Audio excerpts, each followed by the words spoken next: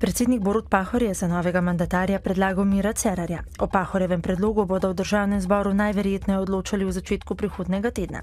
Cerar pa že ima zagotovljeno zadostno podporo. Izredna seja, na kateri naj bi glasovali o novem mandatarju, bi sicer lahko bila že v petek 22. augusta. Predsednik državnega zbora Milan Brgles pa se bolj nagiba k ponedeljku 25. augusta.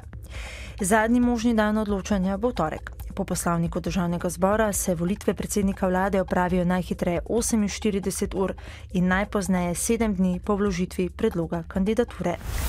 Agencija za varstvo konkurence je včeraj podjetju Dober večer dala soglasje za nakup slabih 192 tisoč delnic oziroma 75 odstotkov kapitalskega deleža podjetja ČZP večer.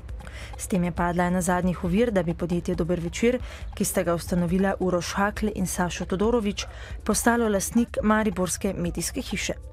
Ministrstvo za kulturo je namreč soglasje dalo še pred zaključkom prodaje. Po neuradnih informacijah zdaj začne teči 15-dnevni rok, v katerem mora podjetje družbi delo nakazati kupnino.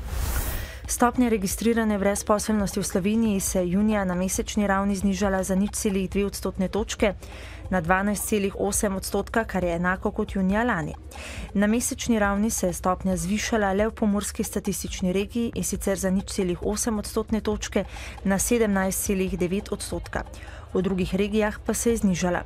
Število registriranih brezposelnih se je junija zmanjšalo za nekaj več kot 2300 na dobrih 117 tisoč oseb.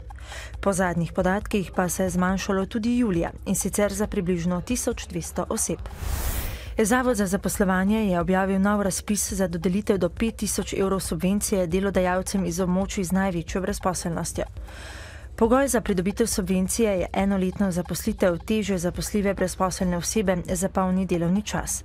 Podjetja z največ petimi zaposlenimi bodo lahko pridobila dve subvenciji, druga pa največ deset.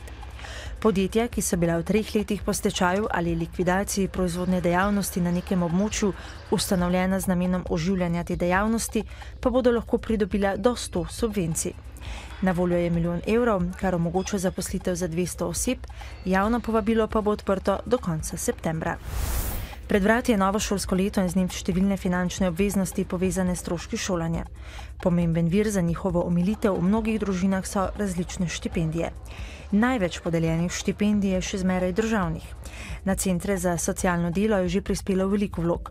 Čeprav večjih sprememb ni, vlagatelje zanima predvsem cenzus za pridobitev štipendije. Septembra bo več kot 250 zobozdravnikov omogočilo brezplačen preventivni pregled ustne votline. Z akcijo bi radi odkrili zgodne maligne spremembe v ustni votlini in ozavestili ljudi o tej hudi bolezni. Pri nas je namreč rak ustne votline po pogostosti na osmem mestu, predstavlja pa približno 2 do 3 odstotke vseh malignih tumorjev. Seznam zobozdravnikov, kjer bodo na voljo brezplačni pregledi, je objavljen na spletnih straneh Zdravniške zbornice Slovenije. Na pregled pa se je treba vnaprej prijaviti. Jutri bo spremenljivo do pretežno oblačno. Padavine, deloma plohe in nevihte, bodo sprva po večini v zahodni Sloveniji, popovdne pa bodo zajele vso državo. Ponekod bo dopoledne še pihal jugozahodni veter, v notranjosti Slovenije pa bo čez dan začel pihati šibak severovzhodni veter. Najnižje jutranje temperature bodo od 10 do 15, na primorskem okoli 17, najvišje dnevne od 20 do 26 stopinj Celzija. V četrtek bo oblačno s padavinami, sprva tudi nevihtami.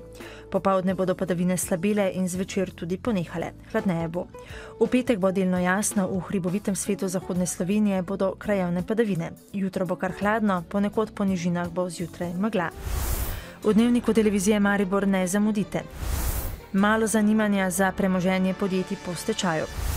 Zamaški za pomoč dveletnemu Aneju. V Punatu je letos letovalo okoli 1800 otrok. Novice Štajerske, Pomorja in Koroške ob 18.